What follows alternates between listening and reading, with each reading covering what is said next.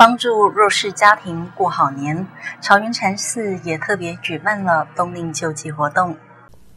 朝元禅寺是美浓最大的道场，每年皆会以冬令救济的方式在社区布施，使困苦的民众能获得维持生活的基本物资。今年为了让处于散乱心的弱势民众也有成就佛道的机会，特别将活动移回本山，让贫户借由进入寺院礼拜而一称南无佛。我们的力量呢？也没有很大，也没有大的财团，就是我们朝元市的经济也有限哈。我们的义工就是他们是平常的扶持，他们的出钱出力，微薄之力。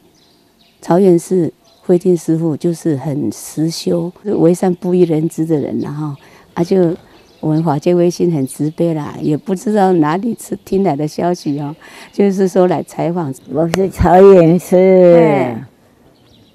我是比，我是慧丁，我是是慧定。阿弥陀佛，阿弥陀佛，吉祥如意，吉祥如意。阿弥陀佛，阿弥陀佛。谢谢你们大家，谢谢你们大家来留佛。冬令救济每年发放的物资略有不同，但一定都是生活所需的必需品。